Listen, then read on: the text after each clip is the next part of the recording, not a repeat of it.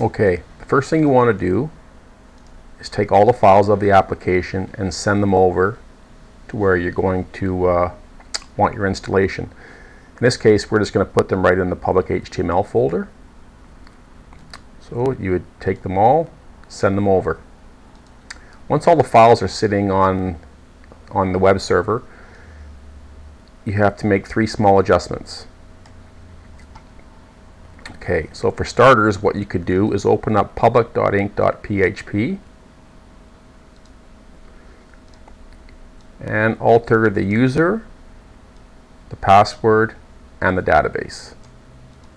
If you've ever set up a blog or any other application, you should be accustomed to uh, this sort of thing.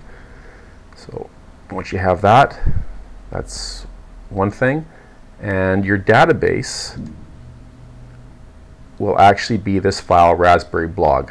So once your database is set up, you can just dump this file, import it with PHP MyAdmin or MySQL and put that right into your uh, database and you're ready to go there.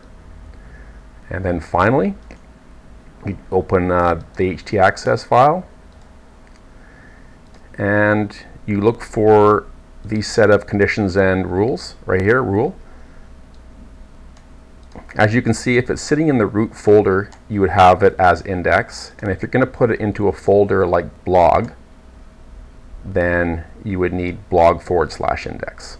So these are commented out because we're not going to use it. And these have no comments, which is what we're going to use. So once you have that, um, then you can send that over as well. So that's it, those three small things. And we'll just take that file and that file, move them over. And then we can open up the website and there it is. It's working, it's fast, it's responsive, and there's the blog right there. And at that point you can log in and do whatever you want. And that's it. Once you get uh, used to this, um, you can actually set up in less than a minute.